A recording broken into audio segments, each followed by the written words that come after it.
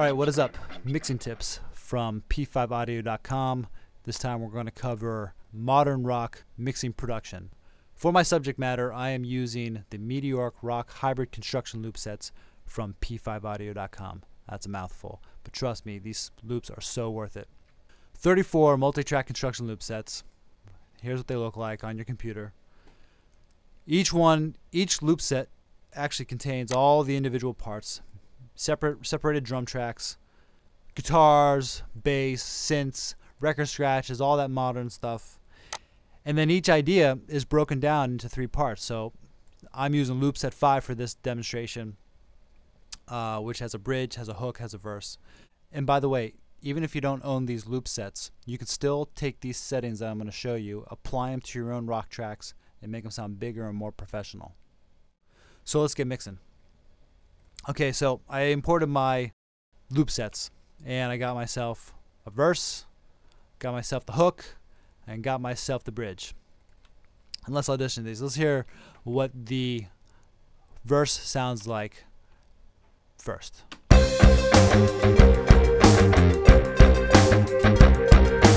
Alright, that's my verse. My hook is this.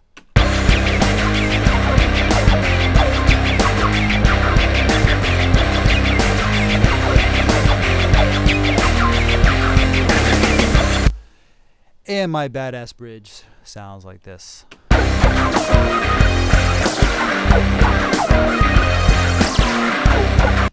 Okay, so how did I get those sounds? Well, I'm going to show you right now. Get your pen and paper. Okay, so for the kick drum, what I got, and by the way, before uh, I tell you these settings, let's just listen to the kick drum without the processing. So take this EQ off, take this plugin off, and here, here's what you got. Good kick to work with. So you got to fatten it up with some compression. And by fattening up, I'm adding a 5 to 1 compression ratio, negative 15 dB, fast attack, fast release, and lots of makeup gain, 10 dB. I'm also gating this kick below negative 15 dB, fast attack, fairly fast release. For EQ, I am boosting 52 hertz, 3 kilohertz, and 7 kilohertz because you got to brighten up this kick so it pierces through the mix. Next step is to double the kick. So I just took this kick line and I drug it down to this track. Settings on this one, I'm rolling a little bit of low end off so I don't have too thuddy of a kick. I could probably even low, roll off a little bit more.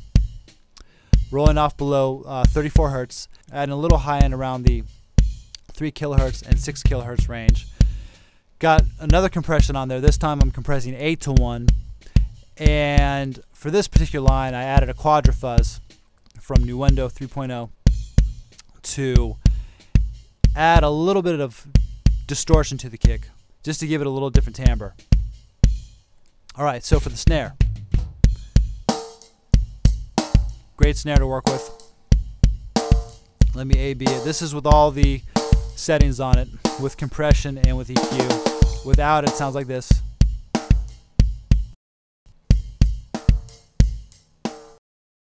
And to compress it, do an 8 to 1 ratio, negative 10 dB. Uh, for my gate, I'm gating below negative 30 dB.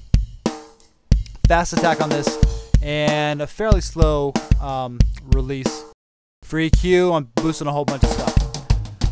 Giving a little bit of weight, so I'm boosting up 76 hertz, and then you got to brighten it up so it sticks out in the mix. Doing 40, or doing 4 kilohertz and 9 kilohertz. And incidentally, that is just the snare top. You still got a snare bottom to mix. But before I bring in that snare bottom, I'm going to take this snare track and I've duplicated it to this line. So this right here is the same snare line, but with this time, I've taken that snare line and I've pitched it down about a minor third. Fills it up a little bit better. Okay, so then you're to add the snare bottom. Snare bottom. Not boosting any high end. It's already a high pitch frequency. Boosting a little bit of mid. Around 24 hertz. For compression, gating it again, about negative 30 dB, negative 28 to be exact. Doing about a 7 to 1 ratio at negative 8 threshold to compress it. Fast attack, fast release.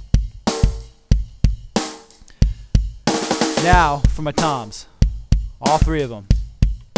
And let me go in and just solo this film. Loop it right here. There you go.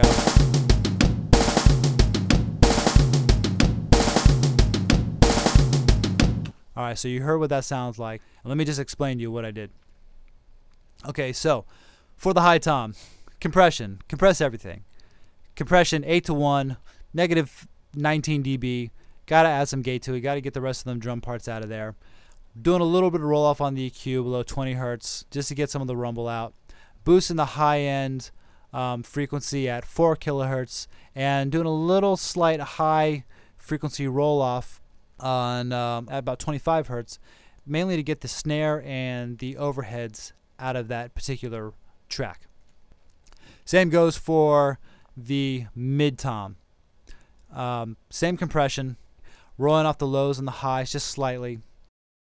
And then for the low one, I'm rolling off a lot of this high end stuff. I want to get all that snare, that hi hat, those overheads out of this particular track.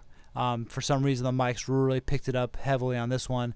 And then just to bring out the punch of this low tom, I am boosting the um, 115 hertz frequency. All right, now for the overheads. Overheads are nice and easy. And if I'm not mistaken, I don't think I compressed these. and I did not. All I did for these, just big time roll off um, below 168 hertz, just getting the, the, the thud of the kick and the toms out of there. I don't want that in there. I want all shine on my overheads. All right, so those drums, let's hear what they sound like all together. Check it out. Okay. All the drums are sounding together, and I've taken all of these drum tracks that you see right here all of these. And they're all being bussed to their own drum channel. And on that drum channel, I am boosting the high frequency just to brighten them up because all that compression can kind of muddy up your sound a little bit. And then I'm compressing all the parts, all the drum parts together, a 4 to 1 ratio, negative 13 dB. Don't need to do any auto gate. Added a little bit of um, makeup gain to it, 4 dB, just to punch it up, give it some more focus. And let's actually go through an A B that. So drums without EQ and compression. That's without the compression and EQ. Add some EQ and some compression. So much more focus. Incredible. All right, very good. So now let's move on to our bass.